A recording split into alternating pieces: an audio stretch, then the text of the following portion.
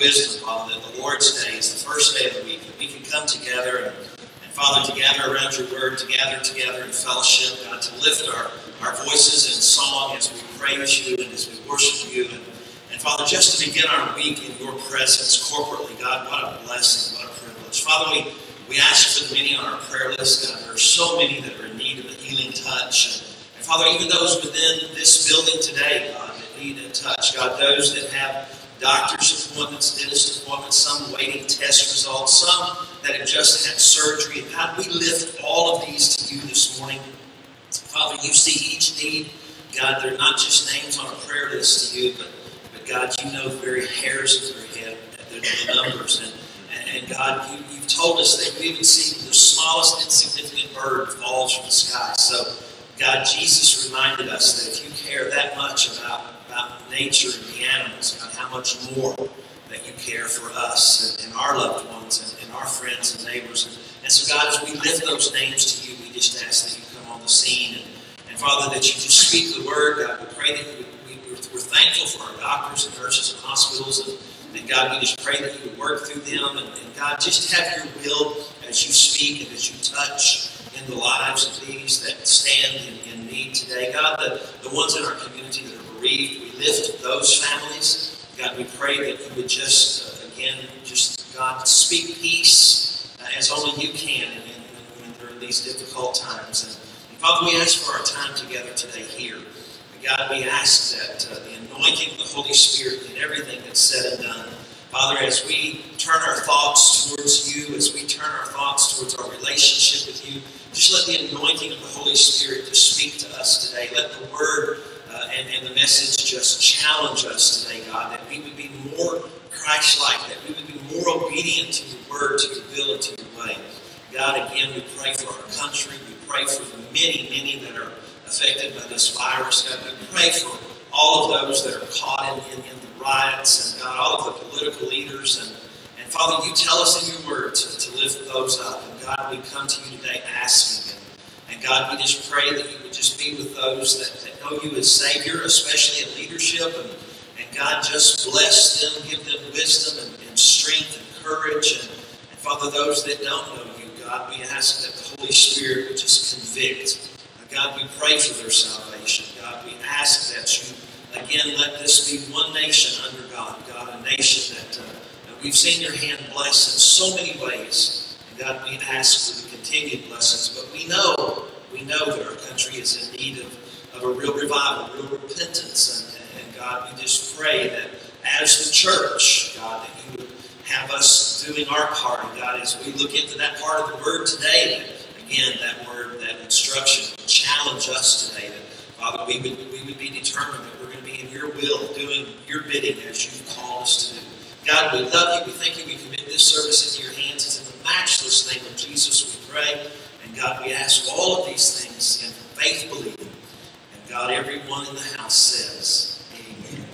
You may be seated. Uh, I just want to remind you, by way of announcement, uh, next Sunday night, next Sunday night, that's August the 9th, the, the day before school starts, next Sunday night, the churches of our association are going to be meeting at the various schools in Livingston County. And North Livingston, along with Salem Baptist, will be meeting at North elementary and North Middle School campus. Uh, and, and, remember, when we do this, we're going to meet at 7 o'clock. Uh, it's going to be just like an outdoor church service, out, not, not a church service, but a, a time of prayer. Uh, we're just going to have a couple of scriptures and then prayer for our, our schools, for the students, the families, the staff, the administration. And so we encourage all of you to be there for that. Uh, again, because it is a function of the church and because we want to be a good uh, uh, corporate neighbor, church neighbor in our community.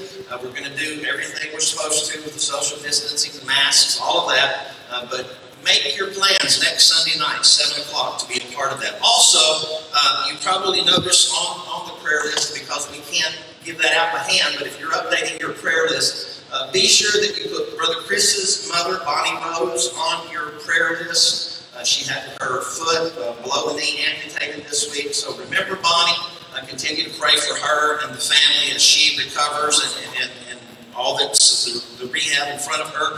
And then Brother Albert this week had an ablation on his heart. Uh, I understand he had four different uh, ablations to the heart that got him off of one of the medications that's been being very difficult on him. But uh, just remember him and Kathy in your prayers. Continue to pray for them. Pray for his strength. Uh, of course, this was a, a, a very serious surgery.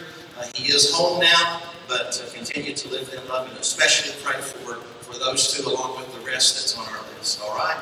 Brother Joe, come lead us in time of worship. It's good to see each and every one of you this morning. Let's uh, Victory in Jesus.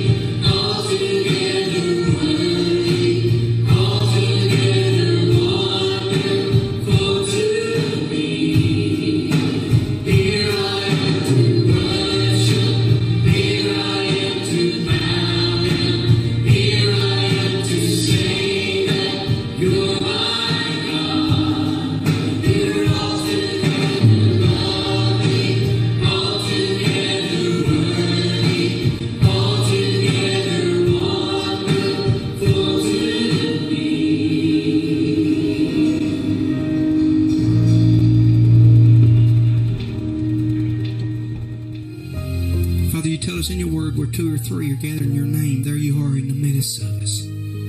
God, we know that you're here this morning. Father, we invite you here. Father, we just ask you, Lord, to put your arms around us today. Protect us.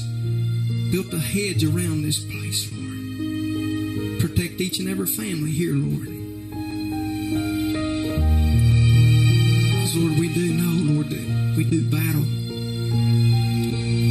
spiritual warfare.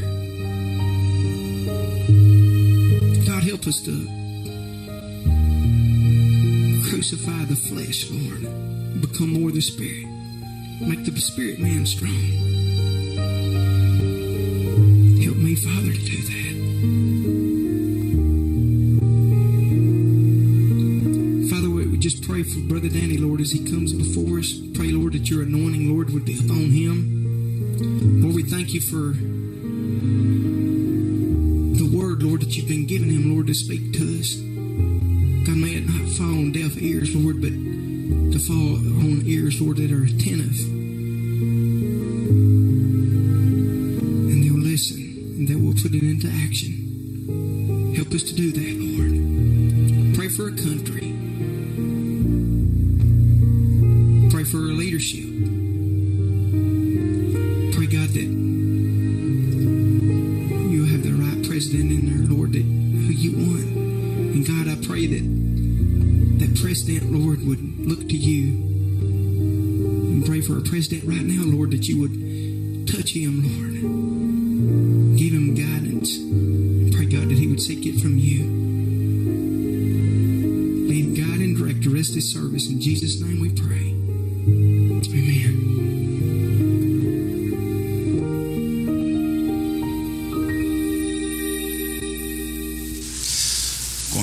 if you will, if you'd open your Bibles to the book of First Chronicles, the Old Testament book of First Chronicles. If you're in your Old Testament, you go about 12 books over from the book of Genesis. I think the 13th book, you'll come to the book of First Chronicles. You have the Kings and then the Chronicles. And then we get the accounts there of the leaders of Israel the people of Israel had prayed had asked God that they had uh, been being led by the, the judges and they had wanted a king like their neighbors had had. You remember the account there that God uh, wanted them to be ruled by judges. He didn't want them to have the kings as the, the, the heathen world had, but they wanted that. They kept asking for that. Finally, God said, Well, I don't, it's not the best for you, but if you keep asking, I'm going to give it to you. And so Saul was anointed by Samuel to be the first king. You'll remember the scripture describes Saul as being head and shoulders above the rest. He, he looked kingly. He, he fit the bill to be what uh, a leader they thought should look like. Uh, when Saul uh, was put into the position of being a king, uh, at, at, first he was a, a right king, uh, but then his um, power, I guess you could say, uh, uh, got to him. Uh, he began to uh, turn away from God. He began to seek uh, things of this world as, as, far as his leadership. He began to trust in his own guidance rather than God's. And if you'll remember, uh, even at one point when he was about to go to battle, he had consulted a, a, a, psychic, a medium, an occultist uh, instead of instead of seeking God Himself uh, to to help him to decide how he should wage that battle. And so God had had enough of Saul. Uh, God was going to remove Saul. He was going to take the kingship not only from Saul but from the whole line of Saul. And you'll remember the account of Samuel was sent to uh, anoint the next king, and he was sent to the house of Jesse. And so he went and he he met Jesse's sons, and each of the sons were brought in and Samuel was saying, No, that's not the one. And, and, and God would tell him, No, that's not the one. And finally, all the brothers had been brought in. And, and Samuel asked Jesse, said, This is just not working. Is there not another? And, and Jesse said, Well, the youngest, but he's, he's out with the sheep and he's not, he's not what you'd want. But they brought David in, and you'll remember that when he saw David, he knew David was to be the king, and so he, he anointed David to be the king. And, and you remember the account there that Saul was still the king, uh, David had the opportunity to serve in the court of Saul. Uh, served first as a musician to him and then as a warrior. And, and you'll remember that David and Saul's son Jonathan were the best of friends. The Bible says they, they loved one another like brothers. And then um, as the time came that uh, David was to take over, and, and David had the opportunity to even take Saul's life. Uh, but David said, "I'll not touch God's anointed. God will have to do this God's way. I'm not gonna. I'm not gonna get involved there. That's God's man, and, and God will have to show me how this happens." And and so all of that took place, and then we come down to uh, the Chronicles begins to tell how the change takes place. And you remember Daniel tells us, and I believe it's Daniel chapter 2, um, that God sets up the kings, God sets up those in authority, and God removes the kings. Uh, that same passage, Daniel as a prophet tells uh, that God uh, orders the times, that God changes the times. That's all in God's hands.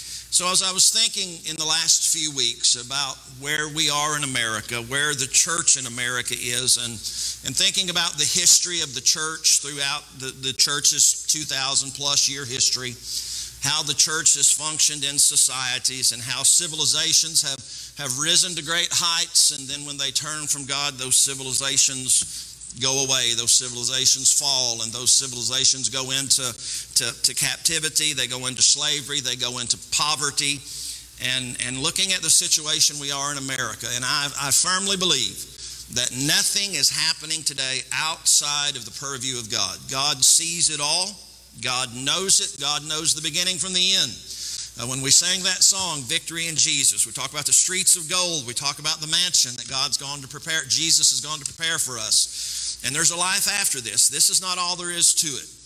And so we have to live here, we have to function here, we have to, to operate here, but we've got a hope beyond this. But while we're here, uh, we do have to, to, to live, we have to function, and, and the old saying goes, I believe there's an old song that goes, there's a whole lot of living between the cross and heaven. And so as we think about that, we think about the church, we think about our relationship with Christ, our relationship with God.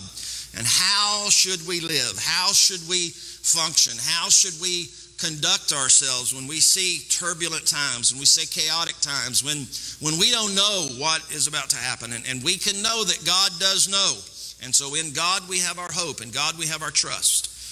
And so as I was thinking of that and, and taken back to this account here in the book of First Chronicles, where David is taking over now as king, Saul has has gone to battle in his final battle against the Philistines. You'll remember that, that David's uh, time as a warrior, just when he was a young man, uh, was shown in a battle against the Philistines when he uh, went up against Goliath, the, the Philistine star warrior.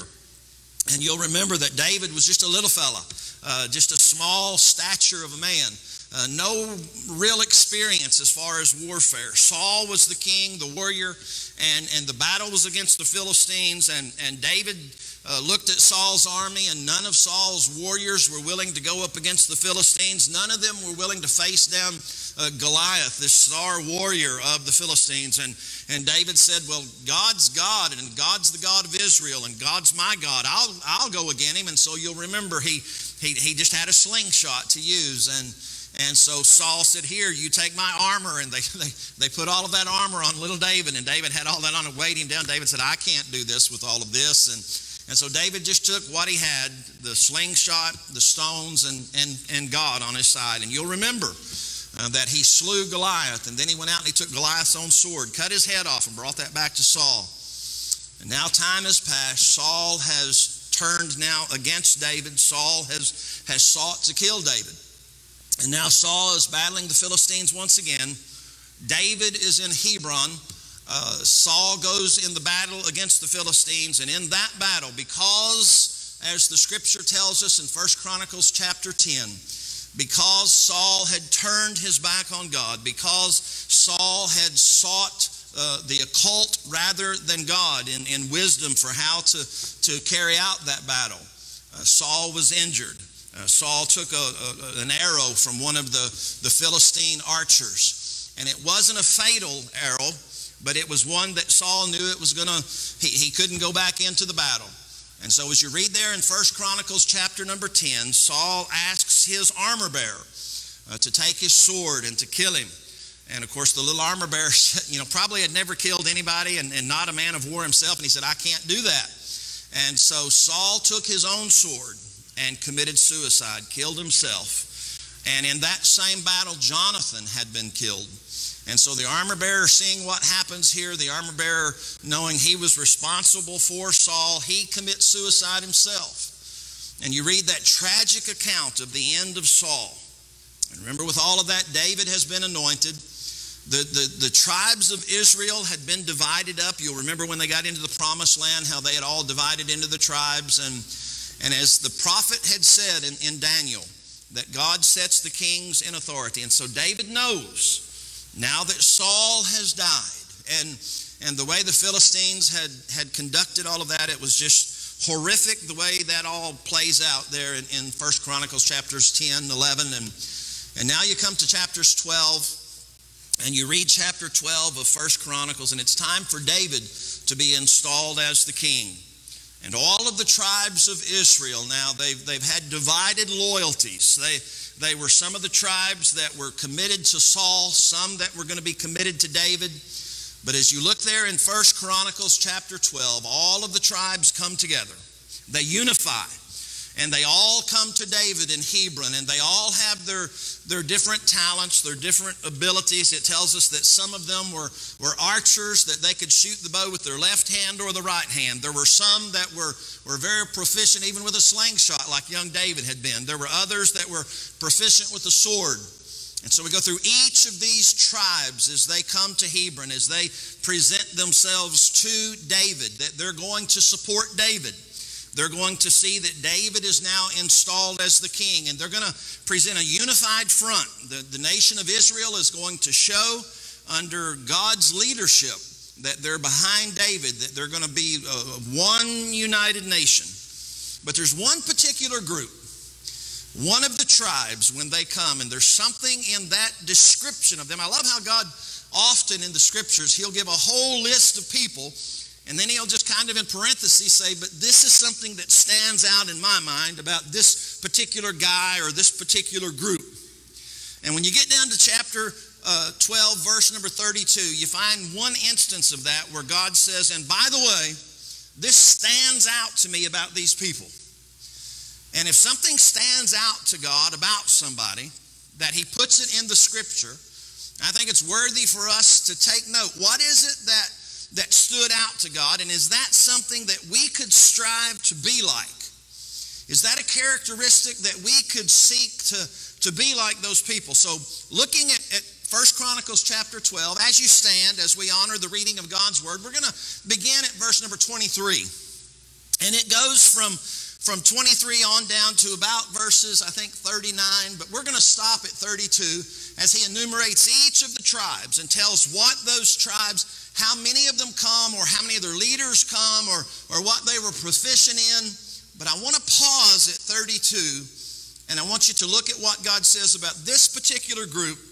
And then I want to look at that for just a moment this morning and see as, as the church in the 21st century, as Christians in America, when we see America at a crossroads, and I, I firmly believe we're at a crossroads. I'm, I'm not one that can tell you the future. I don't know how this is going to play out. God does. But however this turns out, uh, this thing with the virus, the, the virus didn't come from God. All sickness comes from Satan, all sickness comes from hell. But as we said in the last few weeks, everything has to go through God's hands. God knows about it, and God can use this, God can turn this. All of the rioting that we're seeing now, and remember what the scriptures tells us that, that the battles that we face when God's involved, and God is certainly involved, they're not physical battles. While, well, they may, manifest themselves in, in, in physical displays, our battles are spiritual. And the scripture tells us that those spiritual battles, they're waged in high places, heavenly places, and it's good versus evil, God versus Satan and, and, and we're warriors in that as part of God's army, part of, part of God's children, God's family. So as we look at this, this particular display here of Israel, and again, I'm not preaching a, a replacement theology. Israel is still God's chosen, but I believe the American church has a place in biblical prophecy. The American church, God, we're, we're God's people too. And so God has a plan and God has a purpose. And we need to see how we fit into that. And then the, the, the, the message this morning, I'm just calling it, How Shall We Live? Uh, we, we've got to know how we respond, how we react, how we conduct ourselves. And so, as we begin there in verse number 23, he begins to, to list each of the tribes. And he tells us those tribes come. He tells something about them, but I want you to pay particular attention now when we get to verse 32. First Chronicles chapter 12. David is in Hebron. The, the, the tribes begin to come, their leadership begins to come to install David as the king. And he says in verse number 23 the numbers of the armed troops who came to David at Hebron to turn Saul's kingdom over to him, according to the Lord's word, were as follows From the Judites, 6,800 armed troops bearing shields and spears. From the Simeonites, 7,100 brave warriors ready for war from the Levites. Now remember, this is the priestly tribe. This is the ones that, that didn't get an inheritance of the land. They were to be the priests that were to take care of the, the tabernacle, to take care of later the temple. They were the ones to take care of the worship. They, they didn't get an inheritance of land, but everyone else was to take care of them because they were God's spokespeople. From the Levites, 4,600. Verse number 27. In addition, to Jehoiada, leader of the house of Aaron, he brought 3,700 men. And Zadok, a young brave warrior, he brought 22 commanders from his own ancestral house. Now, we assume he had some soldiers under him too, but in this case, they just tell who the commanders were. So, so it's, a, it's a vast number of people that's represented here. Verse number 29 From the Benjamites, the relatives of Saul, 3,000. Now, here, God makes a note. Up to this time, the Benjamites, the majority of them had maintained their allegiance to the house of Saul. From the Ephraimites, 20,800 brave warriors who were famous men in their ancestral houses. From half of the tribe of Manasseh, 18,000 designated by name to come and make David king. And then at verse number 32, we talk about the, the followers of Issachar. He calls them the Issacharites. But he says something about these men. And then he goes through the rest of the tribes, and we're not going to read the rest of the tribes, but, but I want you to pay attention to what he said about the men of Issachar. Here's what God noted they understood the times and they knew what Israel should do. 200 chiefs with all of their relatives under their command. Let's ask God to bless the reading of His Word in our time together. Father, we do thank you for, again, this Lord's Day. God, I, I thank you for the Scriptures. And God, even though we're, we're talking about the installation of David some 4,000 years ago, God, we're still looking at your people in relationship with you. And God, we're looking at a, a time of, of chaos, a time of change, a time of unknown. And yet, God, all of these people that represents you by their tribes, the people of Israel, God, they're presenting a unified front because they've been instructed that you anointed David to be their next leader. God, may we today look at what you say about these men. God, men who understood the times, men who understood and knew what Israel needed to do. And God, I'll be the first to admit our times are confusing, our times are chaotic. And God, we have those that would want to change the very foundations of our nation and that would want to rip you from every public vestige of our nation. But God, we know that America was founded upon your principles, upon your word. Our forefathers wanted a place to where that they could freely worship you. And your word was part of the foundation of every law that this country ever conceived and instituted. And God, I don't believe your plans and your purposes have changed, even though the people have changed. God, we see what happens when people turn from you when we look at someone like Saul. God, we see a man there that lost his relationship with you. We see the destruction that came upon him and his family. And Father, we see a man like David, a man who was fallible, a man who sinned, a man who wasn't perfect, a man who made many, many mistakes. But God, in him, we see a man that still always turn back to you. God, may we be a people that seeks you as David sought you. May, may we be a people that that even though we may sin, even though we may make mistakes, even though we don't understand all of the times, may we be a people that seeks you, your will, your way, your guidance. And then, God, may we be busy impacting, affecting our culture, our community with what your word says and what the church is to be a light in a sin darkened world. God, I ask for the anointing of the Holy Spirit today as we look at these scriptures. God, I ask that you would open our hearts and our minds. God, help each of us to determine that we're going to be like these men. Different skill levels, different abilities, different talents. But God, they were willing to come together for your plan, your will, and your way. May we too commit that we're willing to get involved, that we're willing to educate ourselves, that we're willing to do it your will, your way, because that's the only way that'll work. While we're here and until you call us home. It's in Jesus' name I pray. I ask the Holy Spirit's guidance, and all of God's people said, Amen. You may be seated. As I said, if we continued on in chapter number 12 of First Chronicles, we would find the next six chapters enumerating the rest of those tribes. But we see there as he stops to talk about those men of Issachar.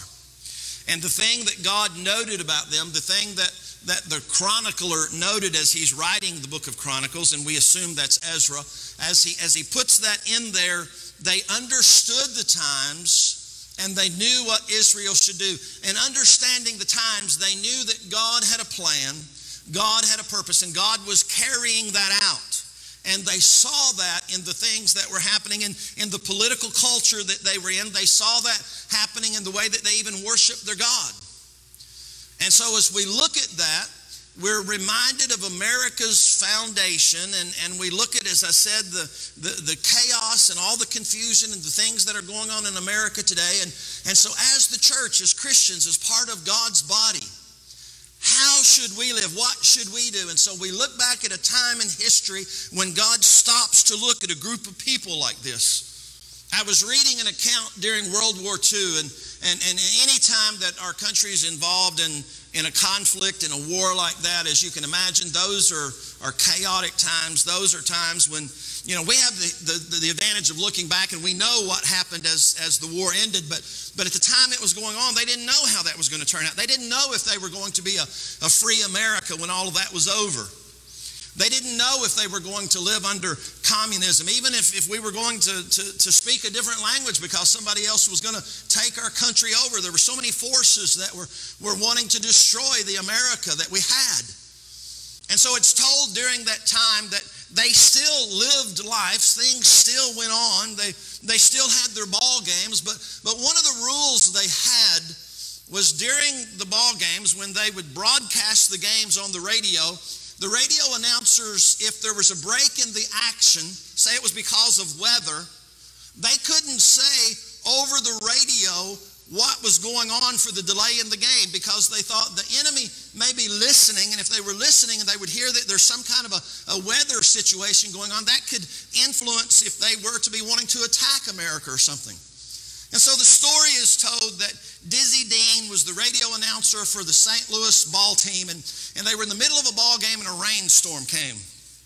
And Dizzy Dean is, is, is, as the radio announcer, what their job is to do is, is when there's a break in the action, they have to just keep talking and keep people listening. And so Dizzy's talking and and he keeps talking and it keeps raining and he's just talking about everything and he's he's trying to enlist the other guys in the booth in the conversation. And and the story goes that finally he gets to a point he, he can't say why the action is stopped because that's a rule. You can't tell what the weather is. And so as he's giving the broadcast he's talked about everything he can think of. He, he's told every anecdote every story he can talk about. And, and finally the words just fail him And so Dizzy Dean just says over the air, he says, folks, if you don't know why there's a break in the action, just stick your head out the window. Now, maybe you can tell the weather by sticking your head out the window, but it's a lot harder to, to tell the shifting winds of a culture. It's a lot harder to tell in these confusing times and chaotic times what's going on. Uh, you just can't just stick your head out the window. You know, even Jesus gave an analogy like that. Jesus, in Matthew chapter 16, he was talking to the, the church leaders. He was talking to the Pharisees and the Sadducees. And, and in, in chapter 16 of Matthew, beginning at verse number 1, Jesus is talking to them and he says, as, as, as, and they were trying to confuse him. They were asking questions to trip him up. And, and, and they said, Could you just give us a sign from heaven so we know who you are? Just do something, just just give us something, a sign, a miraculous sign, and we'll know who you are. And in Matthew chapter 16, verse number 2, Jesus said, He said, When the evening comes, you say it will be good weather because the sky is red. You can, you can look at the sky and you can tell what the weather is going to do. He said, In the morning, in the morning time, you can say, Today will be stormy because the sky is red and lowering or, or threatening. He says, You know how to read the appearance of the sky, but you cannot read the signs of the time. Now, when Jesus told those church leaders, you, have got all kinds of earthly wisdom, but you don't know God and God's Word enough. You're not in tune with God and the Spirit of God enough to tell what's going on in the culture. I think Jesus was probably maybe even thinking back to David's time, thinking back to these men of Issachar. When the scriptures says, but their talent, their ability, their gift was that they understood the times. They knew it was a time of change. They knew that God set the kings in authority and God removed kings from authority. They knew that although God never changes, the methods and the means sometimes have to change in order for the nation to survive. And so Jesus is using that illustration. And you think about change. I mean, I, I, I, think about me, and I don't like change at all. Mark Twain said the only person who likes change is a wet baby. I mean, you know, we just, we're, we're opposed to any type of change. We like things to be consistent and the same and, and day after day and just don't upset the apple cart. But that's not realistic. Realistically, things change. You look at America and America's history and, and our culture, and, and, and, just by the nature of, of, of progress over the centuries, things, things change. The culture changes. But as God's people, we've got to be in tune to God, God's Word, because there's some things we can learn from God that there's some things that just do not change. And then there's other things that do change. And we've got to know the difference. We've got to understand when things happen. I remember hearing the story about a, a reporter that was interviewing a man that had celebrated, it was a hundred and something birthdays he had had. He was over a hundred years old and and the reporter was asking the, the elderly man, he said, you've, you've been through all of these changes in a hundred and something years of life. You've, you've seen so many changes. What do, you, what do you think about all of the changes? And the man said, I hated every one of them. You know, he just didn't like change. And I think we're all like that.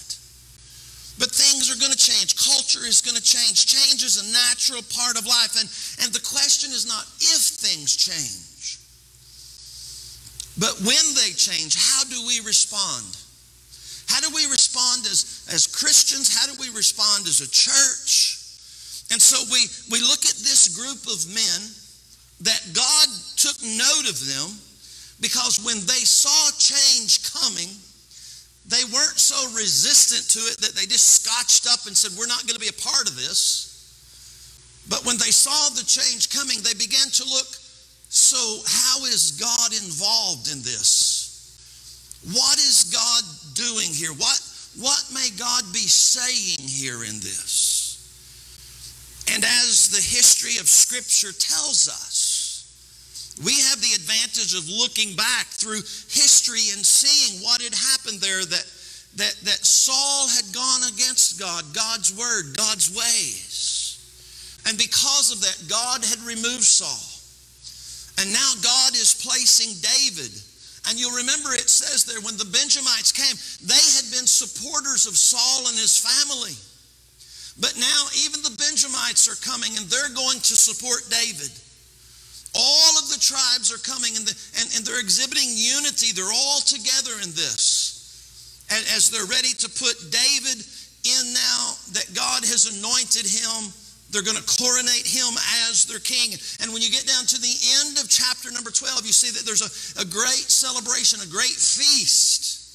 And all of the people send provisions as they coronate David as their king. If you look at how he starts that, First Chronicles chapter 12, he says, These are the numbers of the men armed for battle. You see, if there were others that were going to say, We're going to interfere, we're going to step in, it's not going to be David. All of the tribes said, We're willing to fight for this because we know that God has anointed him. We know that this is God's plan. And so they come with their bows, their arrows, their swords, their shields. They come prepared for the battle. If this is God's will, if this is God's plan, if this is thus saith the Lord, we're going to fight for it. It may mean some civil disobedience. It may mean going against the, the, the popular uh, flow or against the, the ideas of the, the majority or the group. But if it's God's word, if it's thus saith the Lord, and we've got to know that, what does God's word say? You see, the first thing that they did is they knew where God was moving. They knew when God was moving. And so God stops with the men of Issachar and he says, There's men in the group that while they're prepared for battle, they understand the times. They're smart. They've educated themselves. They've looked at all of the circumstances. They've studied up on it. They've studied God's word and God's plan. And they've said, This is God's will, and so we're willing to fight for it. And they come prepared for that. Look at what happens there. They're not motivated by fear. They're not, they're not motivated by what was popular at the time. They've seen God moving. They've seen that this was God's will. And so they all together came and, and, and, as we read through that chapter number 12, you, you, you add those numbers up and you read later in David's army, there were some 390,000 that we account for right there.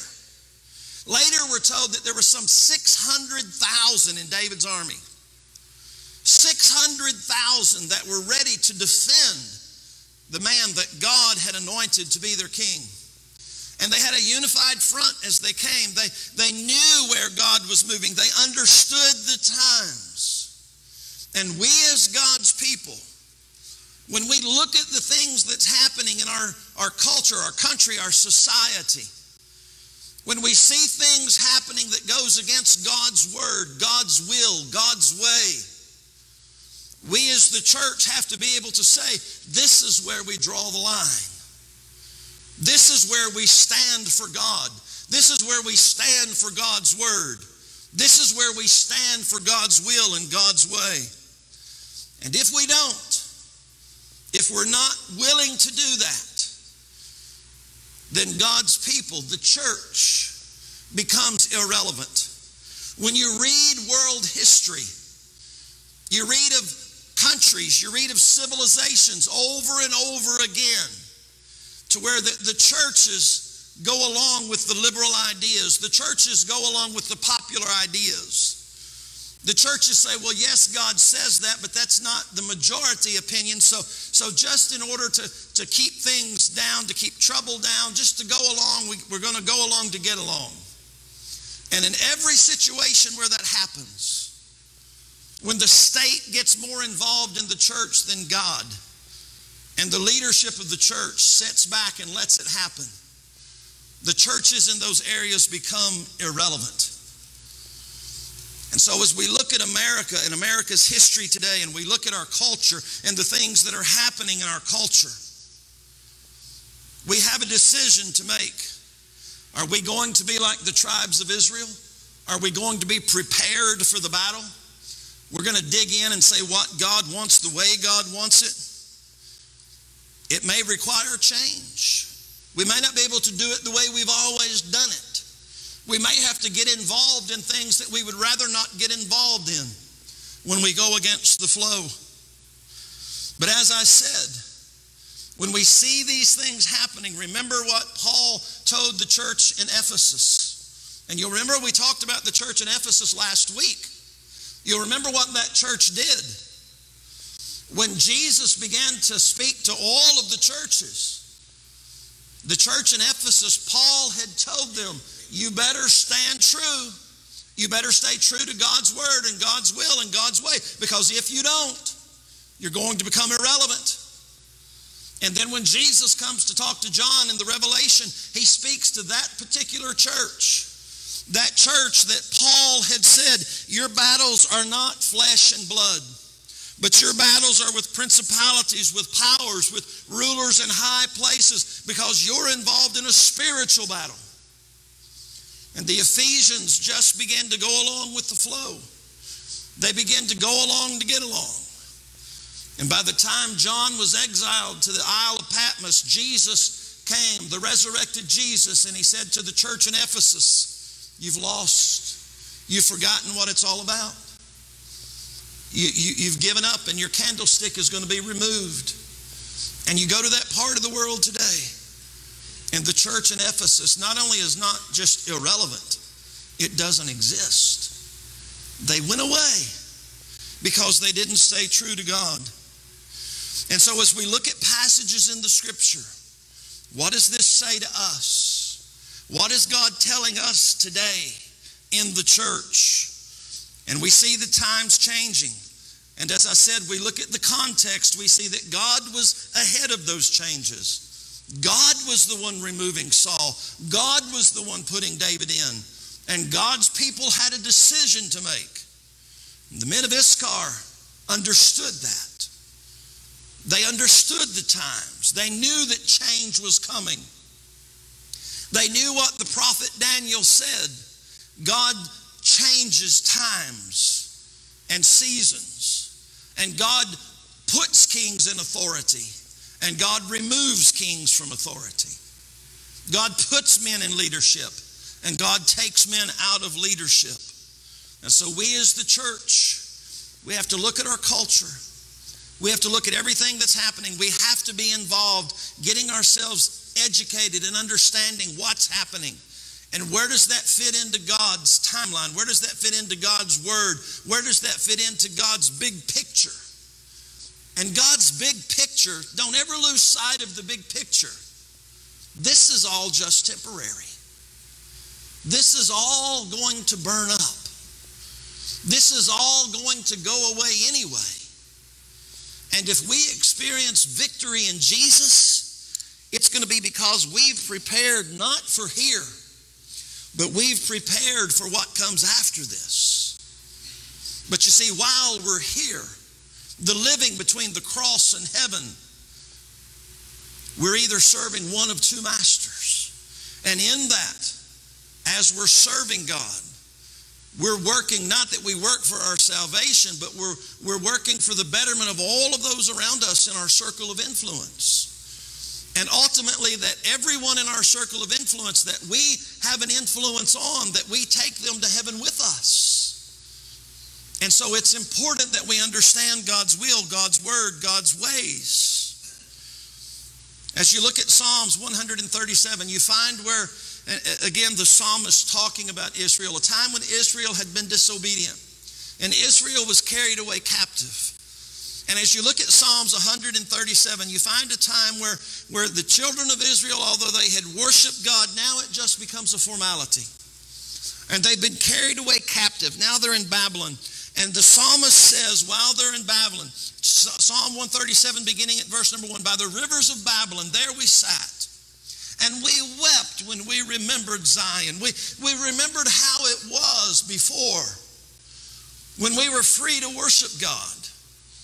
When we were in the promised land, we remembered what it was like. And we hung our harps, our lyres on the poplar trees. We just gave up on worshiping God.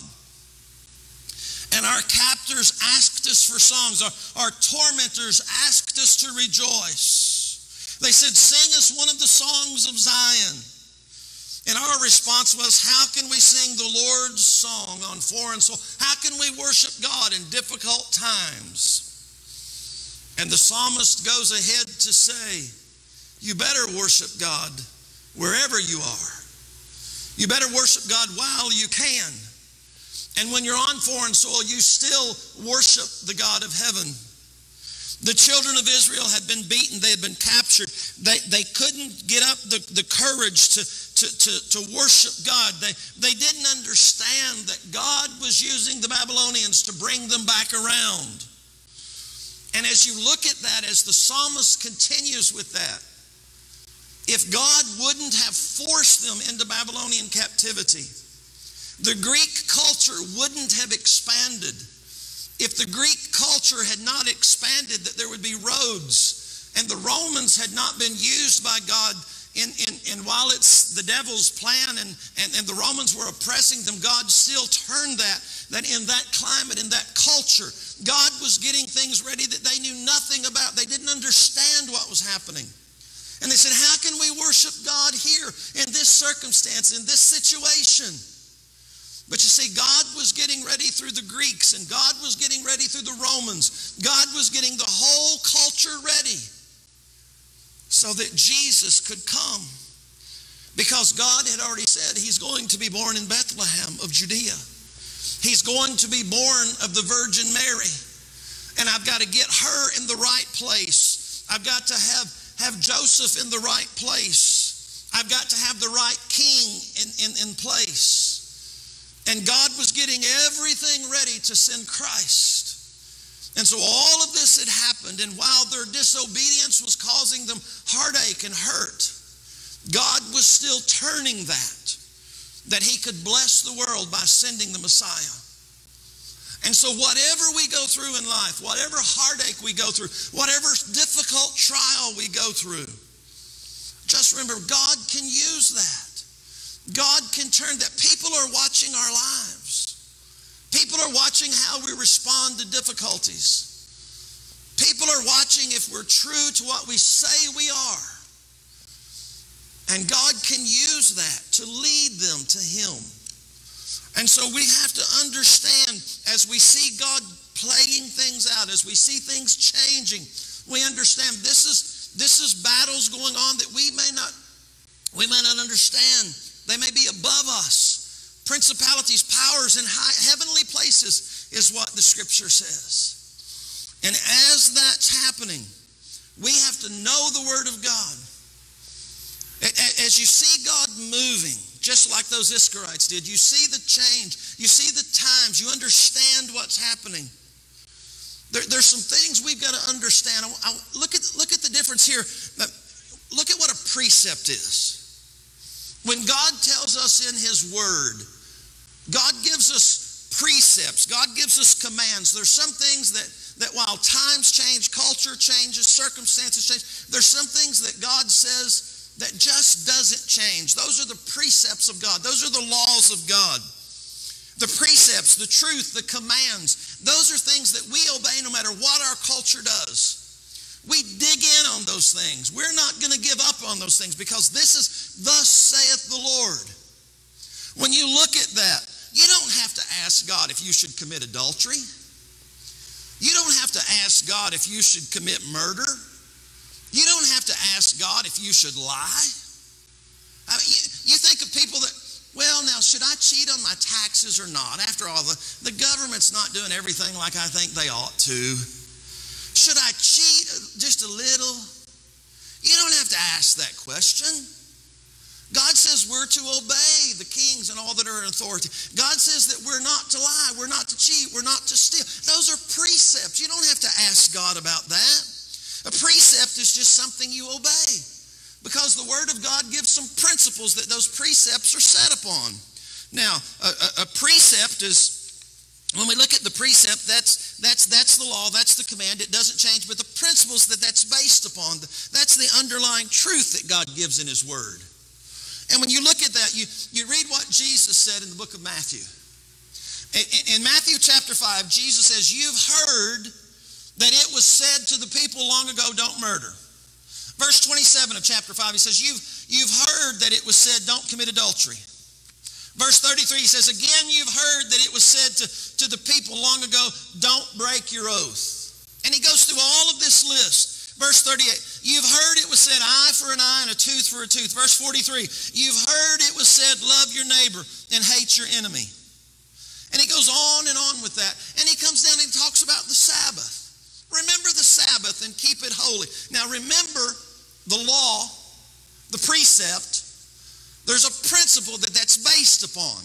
Now let me show you where we can go wrong with this. If, if, if you go to Israel today and you look at the Orthodox Jews, now they obey God's word.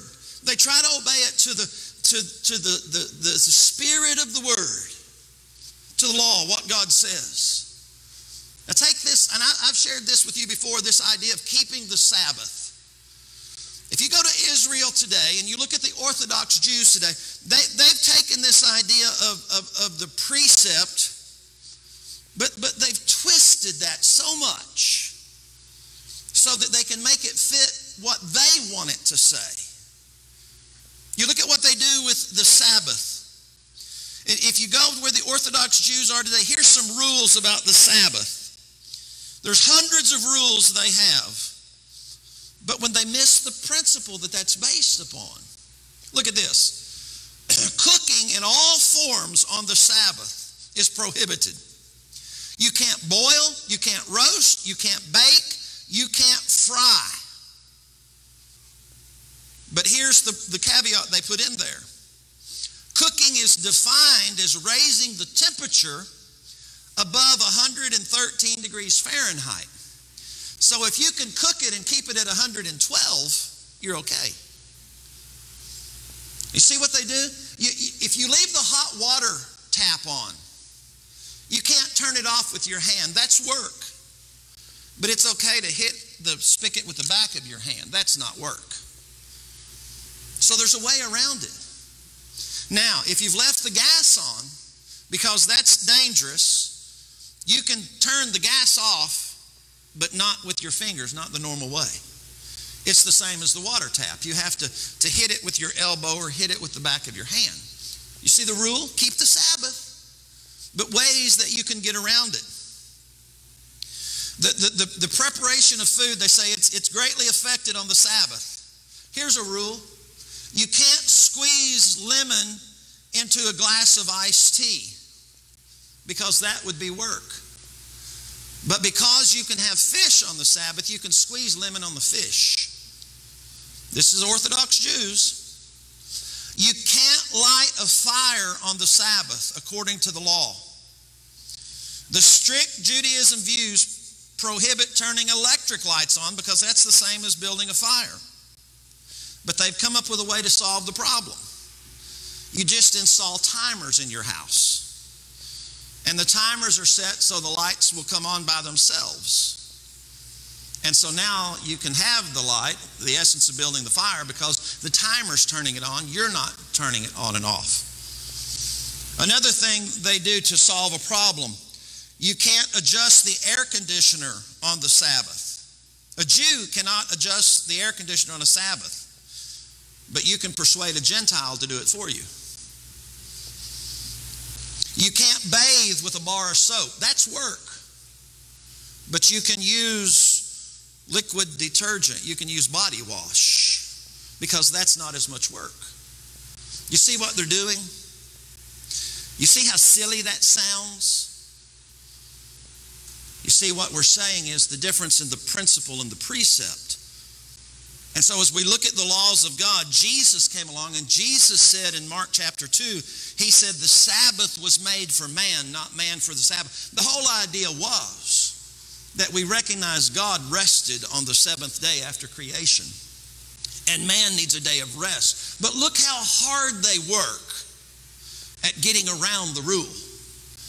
That's not rest when you have to work twice as hard to figure out how to get by with it it's, it's a lot harder to figure out how to get by with something, how to avoid something, than it is just to do it the right way. And, and, and, and the precepts and the principles, that doesn't even get into to personal preferences, just something that, that we just do because we prefer it that way. How many churches split over preferences? Do we use the hymn book or do we use the songs on the wall?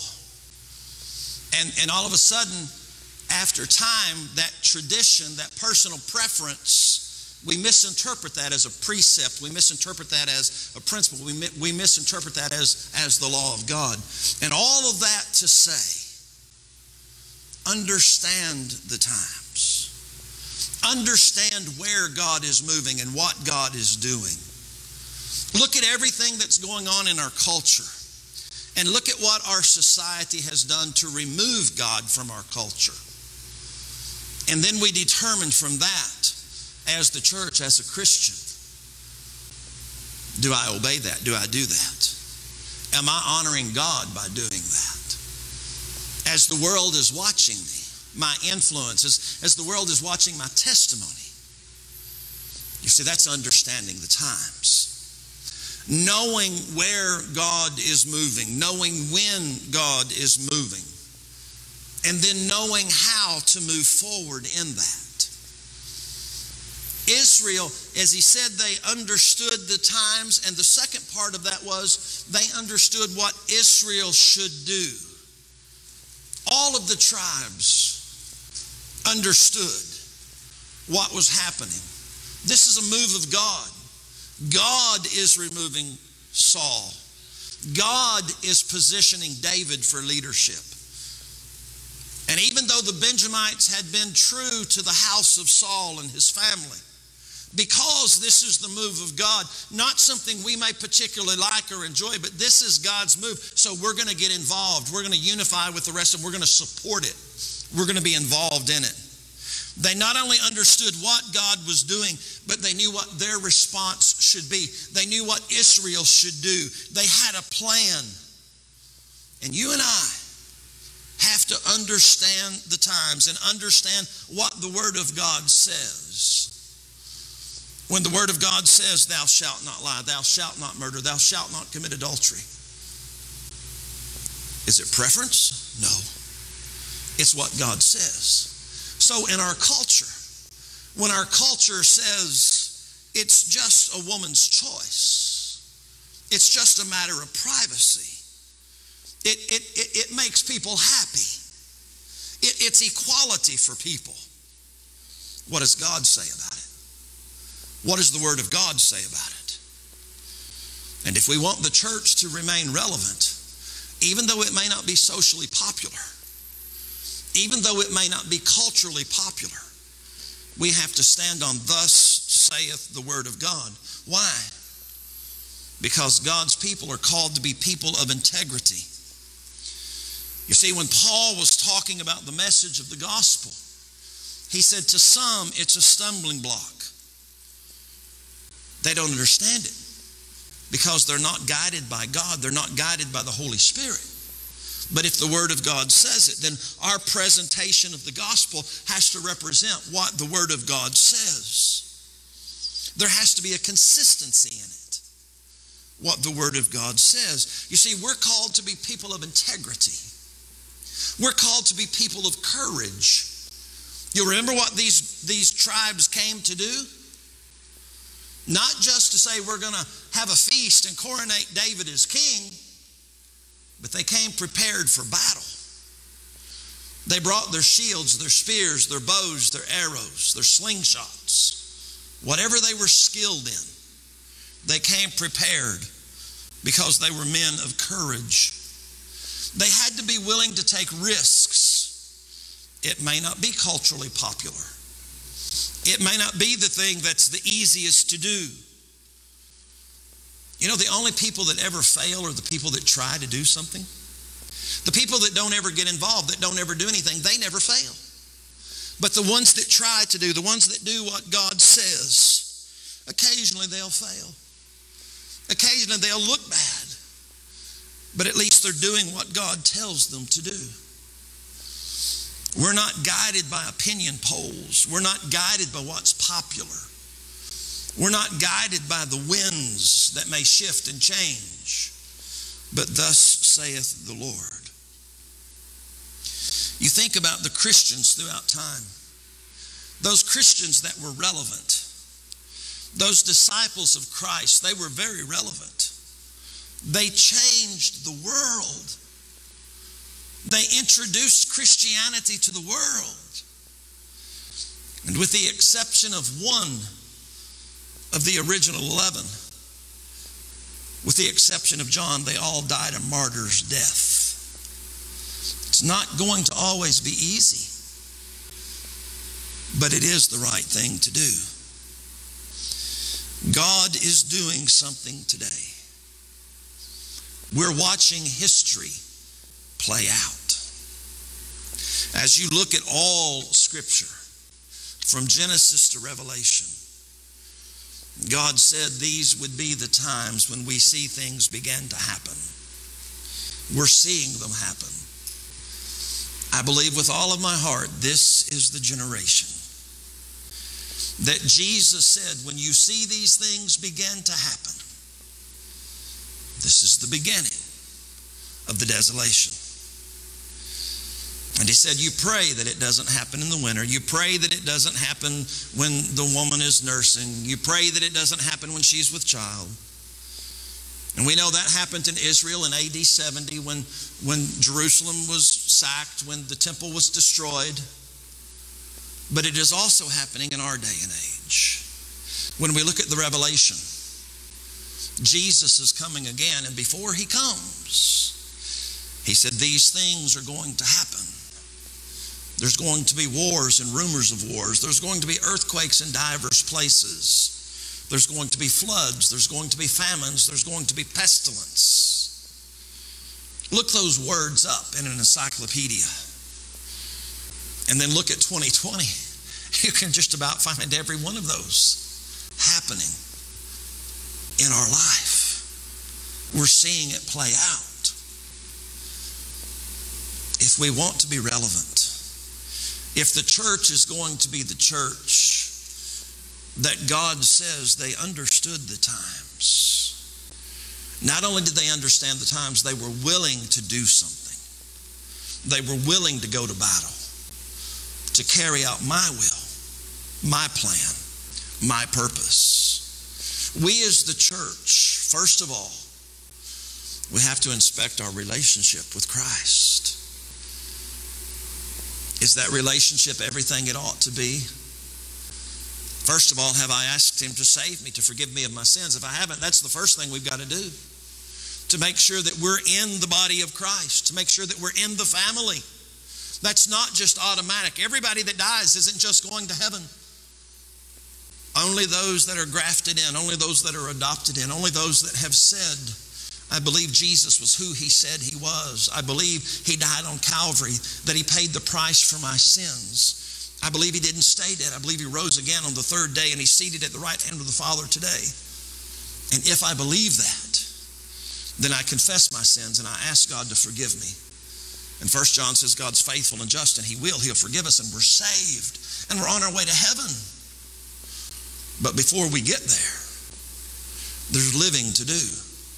And the Word of God tells us how. The Word of God shows us with illustrations of God's people, some that obeyed and became relevant and impacted and influenced for positive those around them, others that didn't, that disobeyed. And we see what happens to them. And so we have to make up our minds I'm going to be what God wants me to be. I'm going to be part of the church. I'm going to be part of the relevant church. by obeying God's law, God's rule, and not coming up with some way just to get around it, just to just to make heaven my home, but I'm going to do it, thus saith the Lord, because of what God's word says. We have an excellent opportunity next Sunday night as the church to go to the school in a time when our our school kids, when our parents, when the staff at the school, when the teachers at the school, they don't know what they're facing. It's got to be a turbulent time. You don't know what, what the year's going to hold, what the week's going to hold, what the first day is going to hold. You don't know what it's going to look like yet. So much apprehension. What better time for God's people to be intercessors on behalf of our children, on behalf of those that teach our children, those that work with our children, to go to the school to make our presence known, to intercede on behalf of them, to intercede with God. And yeah, it's going to be uncomfortable out in the heat wearing a mask and staying six foot apart, but we're going to do that because we want it to be obedient to God's word. We want it to be a, a responsible community neighbor. But most importantly, we want to be interceding on behalf of our children, those that work with our children. That's one thing we can do, and we will do next Sunday night. And I ask you to be a part of that. And I ask you to be looking in your community, in your neighborhood. Where can I represent Christ? Where can our church represent Jesus? Can we, in these difficult, chaotic, confusing times, we can't have vacation Bible school like we did, that, that was out. But how can we help the kids that we helped before? Brainstorm what can we do? How can we be involved in their lives, in their families? How can we still represent the church and represent Christ to those families in our community that need to see and hear the church and the Word of God? And as you brainstorm and you think of that and God shows you that, bring that to the church, bring that to the leadership. As you see ways we can serve our community, let's be involved. Let's be relevant. Let's be intercessors. Examining our own relationship, being obedient to what God's word says, being that example, doing what God tells us to do,